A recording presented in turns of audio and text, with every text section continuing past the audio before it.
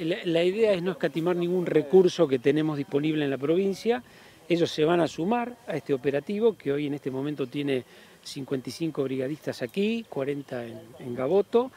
eh, dos helicópteros, dos aviones, otro de reconocimiento. Es decir, estamos sumando todos los esfuerzos porque la situación es realmente de una emergencia general. Ustedes saben que hay, perdón, hay 11 provincias en este momento en el país con situaciones muy comprometidas de fuego. Nosotros venimos desde tiempo atrás, pero esto se ha extendido. Es una situación de emergencia. Por eso hay que sumar a todos los esfuerzos, que, los recursos que tengamos y entre ellos en particular, hoy vamos a recibir la visita de la gente de la multisectorial. A mí me parece muy importante contarles cómo se trabaja,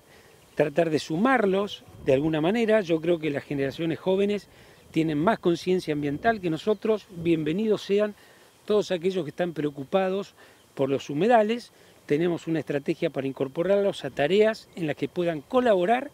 y en las que no tengan riesgo para su salud ni para su vida. Vamos a conversar ahora este, eh, en unos minutos cuando lleguen que el esfuerzo tiene que ser ordenado y tiene que sumar a lo que está haciendo el Estado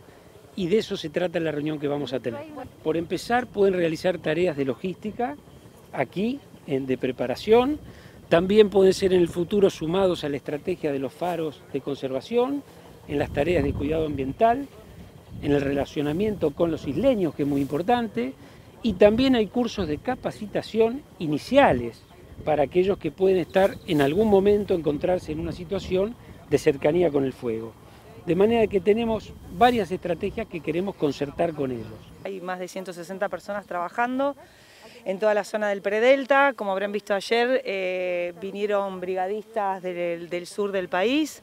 Así que nada, trabajando una vez más, pero también con el detalle de que nos van a acompañar este grupo de voluntarios, multisectorial humedales, van a venir también a charlar con los brigadistas, con la gente de protección civil que viene trabajando para que estén al tanto de todo lo que se viene haciendo y vuelvo a repetir, no desde ahora, desde hace seis meses que estamos trabajando, en los momentos en que se tuvo que reforzar se reforzó con las diferentes fuerzas, como se está haciendo ahora, con una situación que la verdad eh, por momentos se agrava, como lo, que está pasando ahora, con la situación climática y natural, que es un, es un agravante que lo conocemos todos, pero todos sabemos también que hay un grado de intencionalidad que estará siendo investigado por la justicia, que también eh, deberá expedirse y contarnos de qué manera están todas las investigaciones y las noticias que se dan en estas últimas semanas, pero bueno, reforzando y obviamente de la mano no solamente de protección civil de nuestra provincia, de nuestros bomberos, sino con el Plan Nacional de Manejo del Fuego que nos acompañen y que han estado con nosotros desde un principio y aprovecho para hacer un, gran, un gran reconocimiento y agradecimiento a los brigadistas porque a veces se habla desde un lugar